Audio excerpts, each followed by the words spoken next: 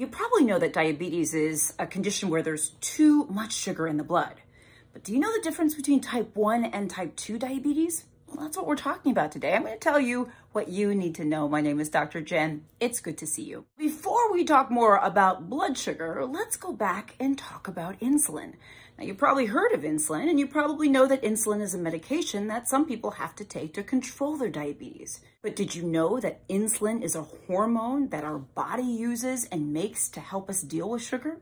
That's right, insulin is made by the pancreas, and it's a hormone that helps the body use and store sugar from the foods that we eat. So what happens is if you're eating a meal, bread, pasta, sugar, whatever you're eating, uh, you eat the meal and your blood sugar starts to rise. This triggers the pancreas to release insulin. Now, this insulin is super important because insulin, as I mentioned, helps our body sort of deal with and, and utilize sugar. Well, how does it do this? It does this by acting like a key. Insulin literally goes and sort of unlocks the door to cells, allowing sugar from the blood to enter into the cells to be utilized. Now, this is ultimately what we want.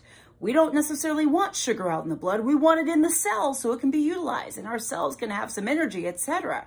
That's one of the reasons why insulin is so very, very, very important. So this brings us back to diabetes. As we know, diabetes is a condition where our blood sugar is too high, usually due to issues with insulin.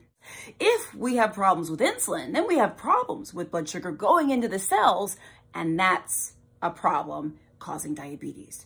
So now to the difference between type 1 and type 2 diabetes. Type 1 diabetes is an autoimmune condition. That means the body has attacked itself. Specific place that it attacks is the pancreas, the insulin producing cells of the pancreas. So the body mistakenly attacks its own self, the insulin producing cells of the pancreas, and this leads to basically not enough insulin, either a complete lack of insulin or not enough. Without insulin to serve as a key to allow the sugar in the blood to enter cells, our blood sugar rises and it can get dangerously high.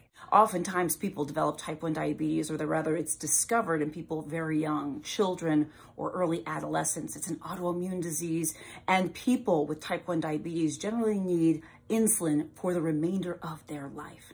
It can happen at any age, but it does happen predominantly in younger people.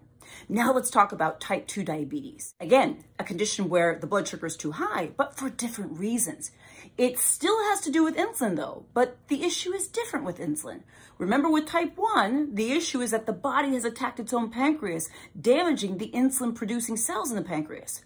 Well, that's not quite the same with type 2. In type 2, our bodies become resistant to insulin, which means it doesn't respond to insulin any longer, or the pancreas doesn't make enough insulin to keep up with the blood sugar that's being taken in.